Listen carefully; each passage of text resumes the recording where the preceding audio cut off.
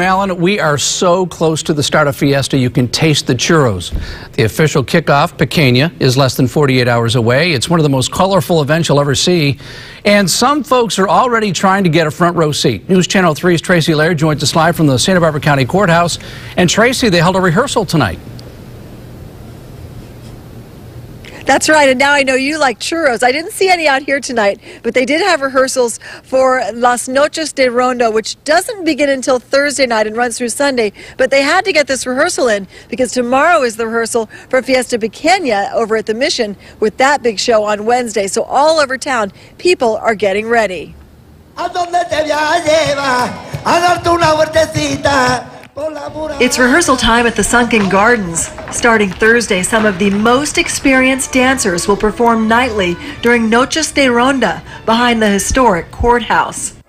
Children will take to the steps of the Mission for Fiesta Pequeña Wednesday night with rehearsal on Tuesday. Some people were mistaken for trying to mark their seats before it's allowed. We're just having a picnic, enjoying. I mean, the Mission's good every day of the year. You know, it's a great place to hang out. Business is brisk at clothing and costume stores where you can rent costumes for a quarter of the cost if you're on a Fiesta budget.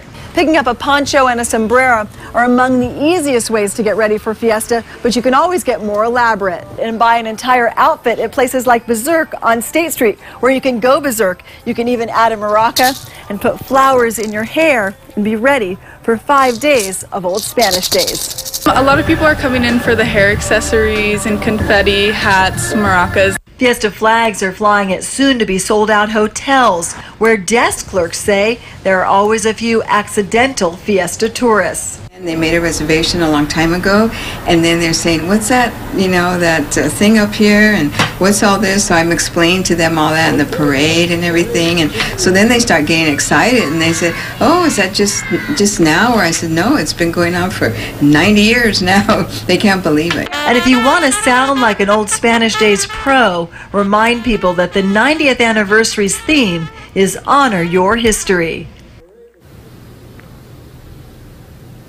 And it really is a best kept secret to go out and see those rehearsals because they are just as beautiful. And it also gets a little crowded during the real shows. Also, if you want to set up for La Fiesta Pequeña or all the events, they only let you put out your blankets the night before. Reporting live at the Courthouse Sunken Gardens in Santa Barbara, Tracy Lehr, News Channel.